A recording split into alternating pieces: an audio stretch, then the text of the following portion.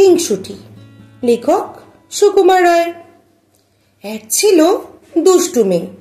বেজায় হিংসুটে আর বেজায় ঝগড়াটে। তার নাম বলতে গেলে তো মুশকিল, কারণ ওই নামে শান্ত লক্ষ্মী পাঠিকা যদি কেউ থাকে, তারা তো আমার ওপর চটে যাবে। যাই হোক, হিংসুটির যে দিদি, সে বড় লক্ষ্মী মেয়ে। যেমন কাজে কর্মে, তেমনি লেখাপড়ায়। হিংসুটির বয়স সাত বছর হয়ে গেছে। হিংসুটি কিনা সবাইকে হিংসে করে, সে তো দিদিকেও হিংসে করত। দিদি স্কুলে যায় প্রাইজ পায়, হিংসুটি খালি বকুনি খায় আর শাস্তি খায়। দিদি যেবার ছবির বই প্রাইজ পেল, হিংসুটি কিচ্ছু পেল না। তখন যদি তার অভিমান দেখতে, সে সারাটা দিন ফুপিয়ে ফুপিয়ে গাল ফুলিয়ে ঠোঁট বাঁকিয়ে বসে রইল।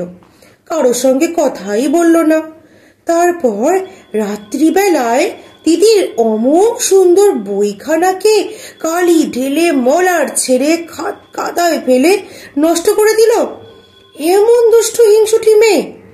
হিংসুটির মামা এসেছেন তিনি মিঠাই এনে দু বোনকেই আদর করে খেতে দিয়েছেন। হিংসুটি খানিকক্ষণ তার দিদির খাবারের দিকে তাকিয়ে তাকিয়ে ভ্যাঁ করে কেঁদে ফেলল। মামা ব্যস্ত হয়ে বললেন কি রে কি হলো? জিভে কামড় লাগল নাকি? হিংসুটির মুখে আর কথা নেই সে কেবলই কাঁদছে।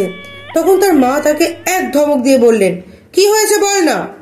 তখন হিংসুটি কাঁদতে কাঁদতে বলল দিদির ওই রসমুন্ডিটা আমার চাইতেও বড়। তাই শুনে দিদি তাড়াতাড়ি নিজের রসমুন্ডিটা তাকে দিয়ে দিল।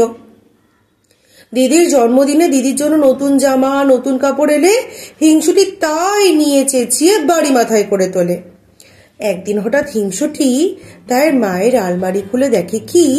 লাল জামা গায়ে, লাল জুতো পায়ে, টুকটুকে রাঙা পুতুল বাক্সের মধ্যে শুয়ে আছে। হিংসুটি বলল, দেখছ? দিদি কি দুষ্টু। নিশ্চয়ই মামার কাছ থেকে পুতুল আদায় করেছে। আবার আমায় না দেখিয়ে মায়ের কাছে লুকিয়ে রেখেছে। তখন তার ভয়ানক রাগ হলো। সে ভাবলো, আমি তো ছোট বোন, আমারই তো পুতুল পাওয়া উচিত। দিদি কেন মিছিমিছি পুতুল পাবে? এই ভেবে সে পুতুলটাকে উঠিয়ে নিল। কি সুন্দর পুতুল, কেমন ছোট চোখ আর ফুটফুটে মুখ, কেমন কচি কচি হাত পা আর টুকটুকে জামা কাপড়। যত সব ভালো ভালো জিনিস, সব কিনা দিদি পাবে? হিংসুটির চোখ ফেটে জল এলো। সে রেগে পুতুলটাকে আছড়িয়ে মাটিতে ফেলে দিল। তাতেও তার রাগ গেল না। সে একটা ডান্ডা নিয়ে দাই দাই করে পুতুলটাকে মারতে লাগল। মারতে মারতে তার নাক, মুখ, হাত পা ভেঙে তার জামা কাপড় ছিঁড়ে আবার তাকে বাক্সের মধ্যে ঠেসে সে রাগে গড় গড় করতে করতে চলে গেল। বিকেলবেলা মামা এসে তাকে ডাকতে লাগলেন আর বললেন, তোর জন্য কি এনেছি? দেখিসনি? শুনে হিংসুটি দৌড়ে এলো। ওই মামা কি এনেছো? দাও না। মামা বললেন মার কাছে দেখ গিয়ে কেমন সুন্দর পুতুল এনেছি। হিংসুটি উৎসাহে নাচতে লাগল। মাকে বলল কোথায় রেখেছো মা? মা বললেন আলমারিতে আছে। শুনে ভয়ে হিংসুটির বুকের মধ্যে ধরাস ধরাস করে উঠল। সে কাঁদো কাঁদো গলায় বলল সেটার কি লাল জামা আর লাল জুতো পরানো? মাথায় কালো কালো কোকড়ানো চুল ছিল। মা বললেন হ্যাঁ তুই দেখেছিস নাকি? হিংসুটির মুখে আর কথা নেই। সে খানিকক্ষণ ফ্যাল ফ্যাল করে তাকিয়ে, তারপর একেবারে ভ্যা করে কেঁদে এক দৌড়ে সেখান থেকে পালিয়ে গেল।